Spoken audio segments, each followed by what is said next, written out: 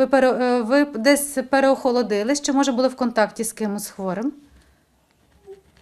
Ага. Добре. І яка максимальна температура у вас була за ці три дні? Е, До 38, так? Вона збивалась?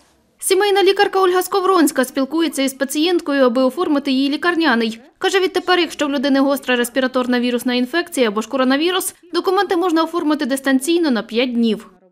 Це може бути телефонна розмова або і відеозв'язок в Viber, месенджері та інших е, додатках, або через додаток HealthyMe, який пацієнт закачає собі на телефон, і лікар може прямо з кабінету зв'язатися. Обов'язково перед тим має бути проведено повне опитування лікарем, збір анамнезу, історії, як захворів пацієнт.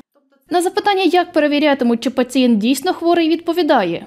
Лікар може е, попросити якісь додаткові фотографії, що пацієнт переслав йому десь у месенджер, або попросити все ж таки зв'язатися з відео.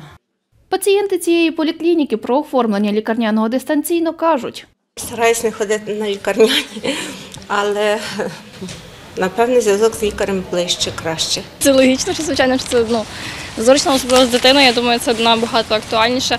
Так само актуально для тих людей, які працюють офіційно, десь дистанційно, на якісь закордонні проекти.